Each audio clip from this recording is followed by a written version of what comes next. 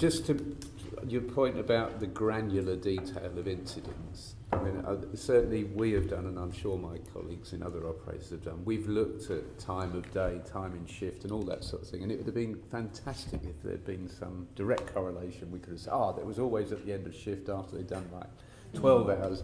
It was completely randomized.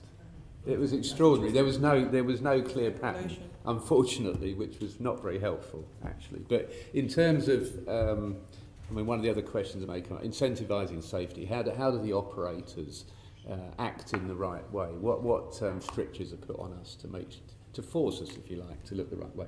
The Safety Performance Index, I think, has done possibly more than even maybe it was intended to do in, in terms of not having a direct incentive, but what other mechanism could you put in place that would get operators doing the right thing?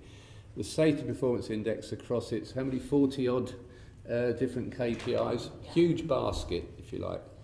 We, and I know my colleagues, are out there trying to improve each one of those measures to get our safety performance index score up.